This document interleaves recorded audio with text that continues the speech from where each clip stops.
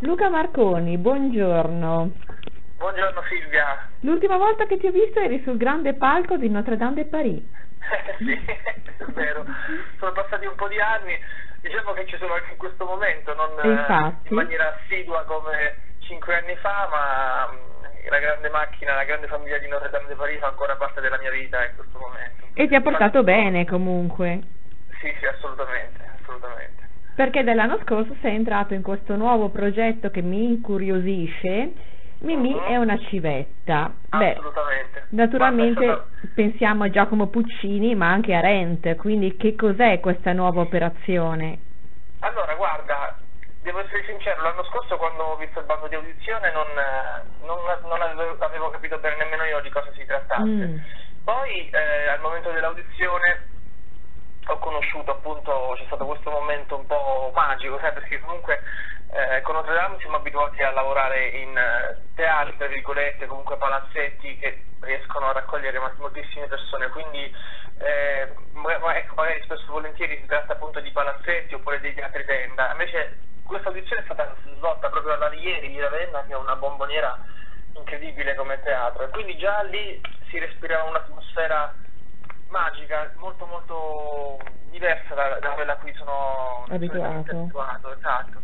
Poi ho fatto questa audizione in presenza della appunto del regista Greg Ganakas e della moglie di Riccardo Muti e non sapevo che in sala c'era anche il maestro Riccardo Muti che ha assistito alla mia audizione, il quale mi ha fatto moltissimi complimenti a fine audizione lasciandomi eh, quasi diciamo esterrefatto perché le sue parole sono state ce ne fossero di cantanti d'opera che interpretano come interpreta questo ragazzo, quindi per me è stata una eh, emozione pazzesca. Tra l'altro- chiaramente è iniziata tutta la trafila de- dell'aspettare eh, la conferma o meno finché appunto è arrivata la chiamata da parte del Ravenna Festival ed è iniziata questa avventura di Mimino Civetta che è stata vissuta l'anno scorso tra novembre e dicembre 2015 in un mese intensissimo di prove e di recite appunto lì al, al Teatro di Alighieri di Ravenna. So non è tu... né Rent né, né Puccini né Bohème nella, nella, diciamo, sua accezione più classica. Mm. Diciamo che musicalmente la, la musica appunto è quella di Puccini. Il riarrangiamento però che è stato fatto da Alessandro Cosentino è un arrangiamento moderno, un arrangiamento che può sposare il pop, il jazz, eh, il rock per certi versi. Le parole sono appunto quelle originali del libretto di Giuseppe Giacosa e Luigi Illica. Ehm, però non è Rent perché Rent appunto è una, è un musical originale Mm. scritto e ispirato alla storia di Bohème invece noi viviamo appunto la storia di Bohème vera e propria però con appunto le, le- le liriche con le- i brani eh, di Bohème come fosse lo- l'opera lirica però rivisitata in una maniera moderna cantata con voci moderne naturali non impostate liricamente Certo, quindi non è attualizzato come Rent. No, no, no, no, è, mh, è, mh, diciamo ambientato nella Parigi dei primi anni 20, una cosa del genere, tra il 20 e il 30, Mm. ecco, come, come ambientazione. Quindi anche lì c'è stata una, una possibilità di lavorare molto, in maniera molto eh, bella con le proiezioni, con le luci, con i costumi, abbiamo avuto dei costumi pazzeschi, bellissimi, proprio di, di, di sartoria, eh, meravigliosi che, che ci hanno permesso insomma di, di, di tuffarci in un'atmosfera completamente nuova Quindi, antica ma nuova ecco, Luca Marconi comunque non è nuovo a queste contaminazioni tra opera e pop. So che hai già fatto altre cose. beh io mh, diciamo che ho, ho avuto un trascorso di studio seppur breve comunque in cui mi sono avvicinato alla lirica nel al conservatorio poi non è stata proprio mh, un'esperienza del tutto piacevole per me perché eh, ero molto giovane e avevo davanti a me il classico bivio da prendere Mm. cosa vuoi fare, la lirica o la musica leggera all'epoca ero molto più eh, indirizzato sulla musica leggera e devo dire che col senno di poi non mi sono pentito nonostante ciò la passione per alcune atmosfere per alcune opere, in particolare Puccini, che mi piace veramente tanto, è rimasta. E quindi quando c'è stata la possibilità di creare questo connubio appunto tra opera, però eh, diciamo ambientata e comunque sviluppata in un- nella maniera che è la mia personale, quindi in una maniera moderna, eh, mi sono trovato proprio diciamo come, come la mano nel guanto, insomma, ecco, sono stato proprio felice di essere parte di, di questo progetto. Sei Rodolfo? Rodolfo. Ecco, che meraviglia. Poeta Rodolfo, quindi da poeta, poi da scrittore, da poeta Piango in Guara al poeta Rodolfo. Esatto, vedi che tutto torna. Tutto torna, esatto, esatto. Quindi com'è questo scapigliato Rodolfo? Come l'hai costruito? Guarda, la cosa, la cosa stupenda è che eh, quando abbiamo fatto le audizioni, quando ho conosciuto in maniera diciamo, più profonda il regista Greg Aracas, appunto, che eh, ha scelto durante le audizioni, lui ha detto Rodolfo sei tu. e io ho detto ah ok, detto, perché quando io ho fatto fare l'audizione eh, vi ho scelto non solo per chiaramente le, le, le qualità canore attoriali, ma per le qualità caratteriali che avete tirato fuori. Rodolfo è, è un romantico, lunatico, estroverso, ehm, iracondo, c'è tutto dentro, ma la cosa meravigliosa è che le arie che canta ti permettono di tirar fuori delle emozioni naturali che ognuno di noi ha eh, in maniera talmente spontanea e, e, libera che viene del tutto naturale. Ecco. Rodolfo vive questo amore folle per Mimì che gli stravolge la vita, infatti è come, è come fosse c'è, una parte appunto del, del, dell'opera che viene recitata e dice adesso non mi ricordo bene perché sono in fase di, di ripasso per la ripresa eh, questa cosa mi devo ricordare perché è la, la parte del secondo atto ah, dice in mezzo alle tempeste delle loro liti di comune accordo si soffermavano a riprendere Lena nella fresca oasi di una notte d'amore. Oh. ma all'alba del domani un'improvvisa battaglia faceva fuggire spaventato l'amore. Così se fu vita vissero giorni felici alternati a molti pessimi nella continua attesa della separazione. Questo ti fa capire perfettamente quello che è sì. l'amore tra Rodolfo e Mimì, un tira e molla, un prendi, è, come, è come l'onda che sbatte continuamente sul bagnasciuga, che arriva, poi si ritira, si ricarica e si rilancia di nuovo.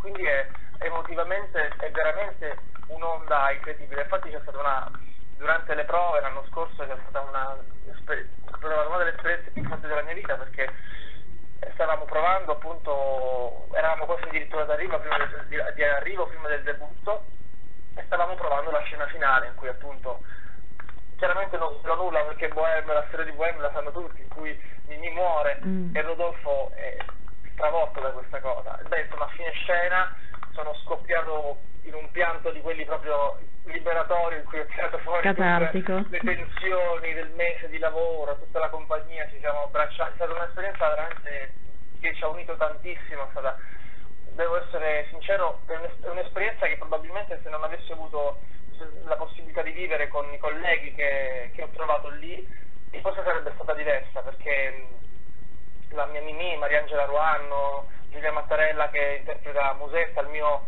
fedele amico Marcello che è Adriano Di Bella, sono state delle persone che mi hanno, Davide Paciolla, Shonar, Paolo Gatti, Collin e gli altri ragazzi del, eh, del, dell'ensemble, insomma c'è stata una, veramente una coesione di anime e di, e di come posso dire, sembra quasi un'empatia adesso parlarne, però è stata veramente un'atmosfera certo. quasi, quasi, ferma nel tempo. Infatti la regista diceva sempre this is a, this is a moment still in time, perché è veramente una, una, una cosa che è stata eh, messa lì e rimarrà lì in maniera come indelebile. Quindi quella, quello è, è, il punto da cui io voglio ripartire adesso per riprendere in mano appunto questa Mimì che tra una settimana circa ridebutterà nuovamente al teatro di di Ravenna, all'Alighieri, con, con tre recite inizieremo con mattinee, poi facciamo la, appunto la prima la sera del 3 e abbiamo una pomeridiana il giorno 4.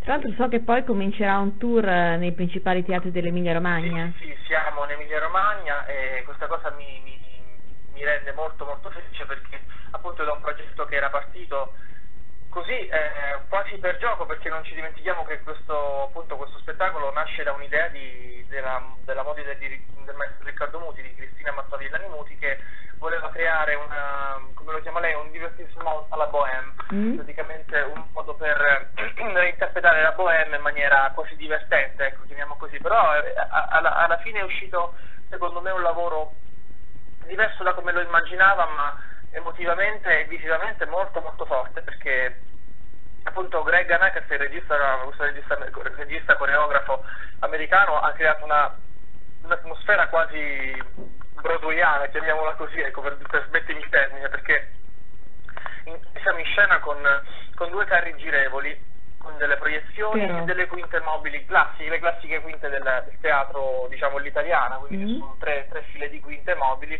scorrevoli che eh, ecco, riescono a creare quan- quantomeno dei tagli all'interno del, del, del palco.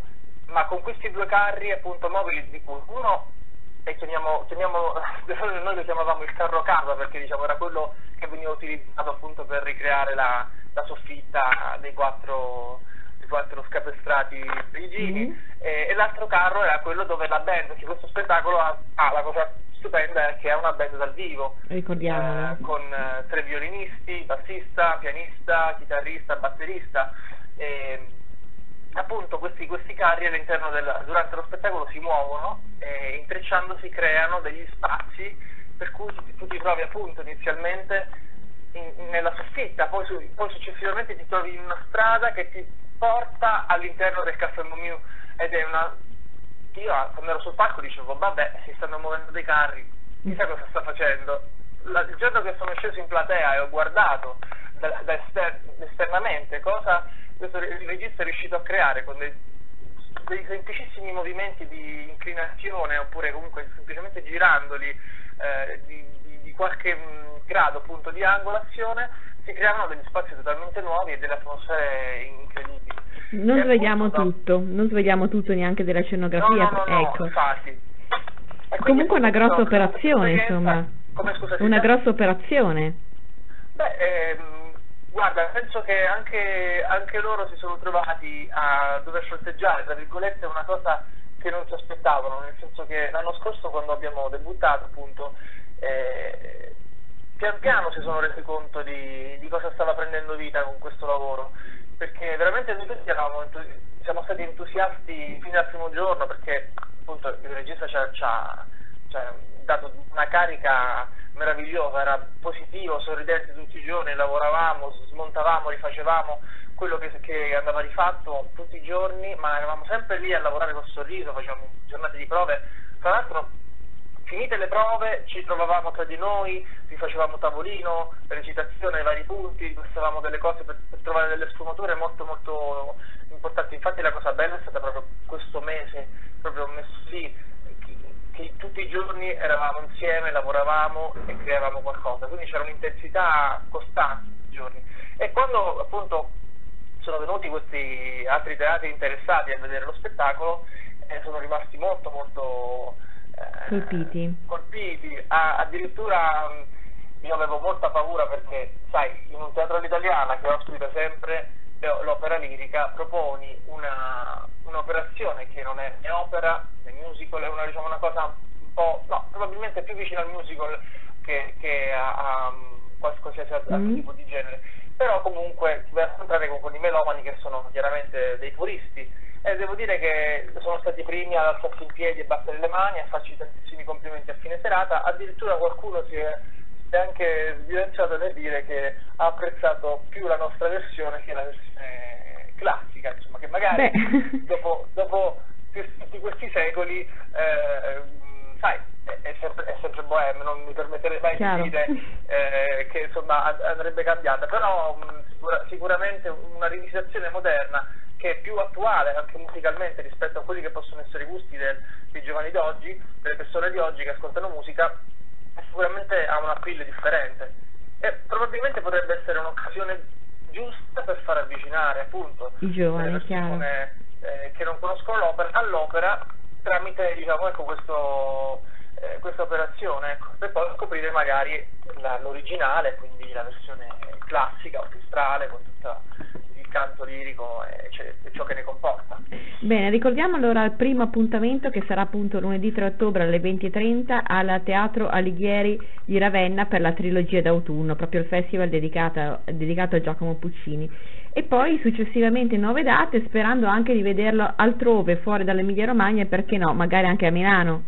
Magari Silvia, guarda, io sto, mi sto battendo con, con le e con i denti, sto cercando di portare persone a, a conoscenza di questo progetto perché ehm, sono sicuro che se la gente vedesse cosa, di cosa stiamo parlando si interesserebbe molto vorrebbe, e vorrebbe vederlo.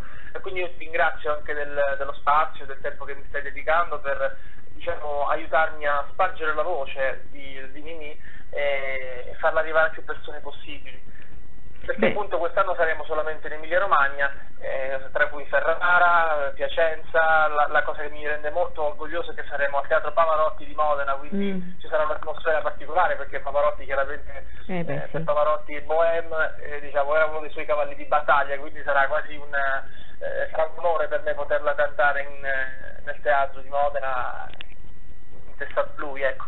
Saremo al Giglio, a Lucca, saremo a Reggio di Parma che sarà per me un, eh, un déjà vu, un ritorno al passato con Notre Dame, che è stato il mio, appunto, il mio primo debutto con Notre Dame mm. e ci tornerò con Mimi, quindi sarà sicuramente una emozione molto molto grande rivivere quelle stesse mura in, in versi differenti. Bene, io ti ringrazio e auguro tutto il meglio per questa nuova produzione, io sono sempre contenta di supportare cose nuove che arrivano, si affacciano sui palcoscenici italiani, poi questi progetti particolari poi ancora di più, quindi grazie Luca Marconi per questa tua partecipazione e tanta grazie, bip per questo rientro sulle scene. Grazie, grazie, grazie. Vi aspettiamo a teatro 3 ottobre alle 20.30 al Teatro Lighieri di Ravenna e poi eh, grazie Silvia saprete conoscerete anche le prossime tappe della, della tournée tra novembre, dicembre e febbraio. Sarò qui. Teatro, grazie mille di cuore e venite a vedere Mimì una ciletta. Grazie Silvia, un bacione, buona giornata. Ciao.